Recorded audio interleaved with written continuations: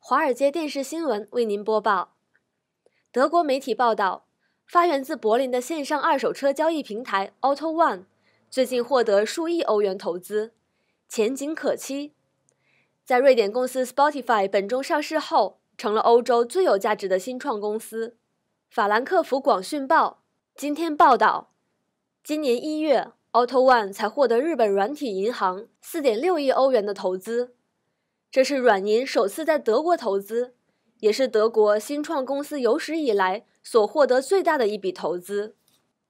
瑞典线上串流音乐服务公司 Spotify 最近上市，从新创公司毕业，Auto One 的公司估值约为二十九亿欧元，成为欧洲目前最有价值的新创公司。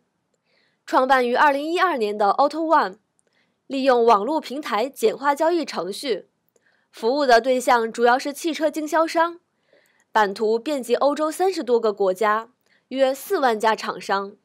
二零一七年财政年度，Auto One 的营收达二十二亿欧元，年成长率百分之四十七，卖出的经认证二手车辆达四十二万辆，较前一年增加了十二万辆。Auto One 的创办人贝特尔曼向法兰克福广讯报说。Auto One 创业至今六年，现今仍然算是初期发展阶段预期会得益于软银的投资经验。